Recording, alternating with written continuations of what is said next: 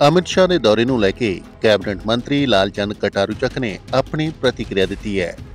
Cabinet ਮੰਤਰੀ ਨੇ ਕਾਂਗਰਸੀ ਨੇਤਾਵਾਂ ਦੇ ਭਾਜਪਾ ਵਿੱਚ ਜਾਣ ਦੀ ਨਿੰਦਾ ਕੀਤੀ ਹੈ। ਉਹਨਾਂ ਆਖਿਆ ਕਿ ਕਾਂਗਰਸੀਆਂ ਨੂੰ ਸੱਤਾ ਦਾ ਖੂਨ ਲੱਗ ਚੁੱਕਾ ਹੈ। ਉਹ ਲੋਕ ਸੱਤਾ ਤੋਂ ਬਾਹਰ ਨਹੀਂ ਰਹਿ ਸਕਦੇ ਤੇ ਸੱਤਾ ਵਿੱਚ ਰਹਿਣ ਦੇ ਲਈ ਕਿਸੇ ਵੀ ਪਾਰਟੀ ਵਿੱਚ ਜਾ ਸਕਦੇ ਨੇ, ਜੋ ਕਿ ਇੱਕ ਨਿੰਦਣਯੋਗ ਗੱਲ ਹੈ। ਉਹਨਾਂ ਆਖਿਆ ਕਿ ਆਮ ਆਦਮੀ ਪਾਰਟੀ ਬੁਲੰਦੀਆਂ ਨੂੰ ਛੂਹਣ ਵਾਲੀ ਪਾਰਟੀ ਹੈ ਤੇ ਇਸੇ ਕਰਕੇ ਪੰਜਾਬ ਵਿੱਚ ਆਮ ਆਦਮੀ ਪਾਰਟੀ ਨੂੰ ਲੋਕਾਂ ਨੇ ਚੁਣਿਆ ਹੈ ਤੇ ਕਾਂਗਰਸ ਤੇ ਭਾਜਪਾ ਨੂੰ ਦਰਕਨਾਰ ਕੀਤਾ ਗਿਆ ਹੈ। ਉਹਨਾਂ ਆਖਿਆ ਕਿ ਭਾਜਪਾ ਪੰਜਾਬ ਵਿੱਚ ਕਿਸਾਨ ਵਿਰੋਧੀ ਪਾਰਟੀ ਅਤੇ ਮਜ਼ਦੂਰਾਂ ਦਾ ਵਿਰੋਧ ਕਰ ਰਹੀ ਹੈ। ਕਾਂਗਰਸ ਵਾਲੇ ਸੱਤਾ ਤੋਂ ਬਾਹਰ ਨਹੀਂ ਰਹਿ ਸਕਦੇ। ਸੱਤਾ ਦਾ ਸੁੱਖ ਭੋਗਿਆ, ਲਹੂ ਲੱਗਿਆ ਮੂੰਹ ਨੂੰ। ਸੋ ਇਸ ਕਰਕੇ ਐਸੇ ਐਸੇ ਲੋਕ ਜਿਹੜੇ ਆਪਣੇ ਆਪ ਨੂੰ ਸੈਕੂਲਰ ਦੱਸਦੇ ਰਹੇ ਆ,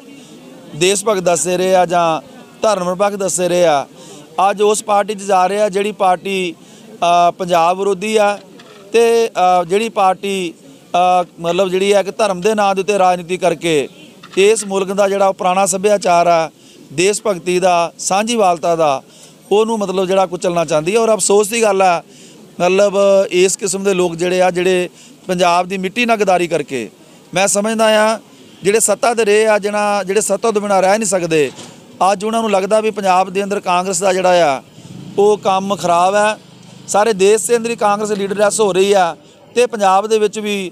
ਐਸੇ ਲੋਕਾਂ ਦਾ ਬੀਜੇਪੀ 'ਚ ਜਾਣਾ ਕੋਈ ਹੈਰਾਨਗੀ ਦੀ ਗੱਲ ਨਹੀਂ। ਮੈਂ ਸਮਝਦਾ ਵੀ ਦੇਸ਼ ਦੇ ਅੰਦਰ ਇਸ ਵੇਲੇ ਸ੍ਰੀ ਅਰਵਿੰਦ ਕੇਜਰੀਵਾਲ ਜਿਹੜੇ ਇੱਕ ਇਮਾਨਦਾਰ ਆਗੂ ਦੇ ਤੌਰ ਤੇ ਉੱਭਰ ਰਹੇ ਆ, ਔਰ ਆਉਣ ਵਾਲੇ ਸਮੇਂ 'ਚ ਆਮ ਆਦਮੀ ਪਾਰਟੀ ਨੇ ਬੜੀਆਂ ਬੁਲੰਦੀਆਂ ਤੇ ਜਾਣਾ, ਲੋਕ ਪਰਖ ਕਰ ਰਹੇ ਆ, ਲੋਕ ਇਸ ਗੱਲ ਨੂੰ ਬੜਾ ਨੇੜਿਓਂ ਦੇਖ ਰਹੇ ਆ, ਤੇ ਪੰਜਾਬ ਦੀਆਂ ਚੋਣਾਂ ਦਾ ਪ੍ਰਣਾਮ ਨੇ, ਉਹਦਾ ਸਿੱਟਾ ਆ, ਕਿ ਪੰਜਾਬ ਦੇ ਅੰਦਰ ਲੋਕਾਂ ਨੇ ਇੱਕ ਪਾਸੇ ਕਾਂਗਰਸ ਨੂੰ ਪੰਜਾਬ ਟੁਡੇ 24 ਲਈ ਪਠਾਨਕੋਟ ਤੋਂ ਧਰਮਿੰਦਰ ਠਾਕੁਰ ਦੀ ਰਿਪੋਰਟ।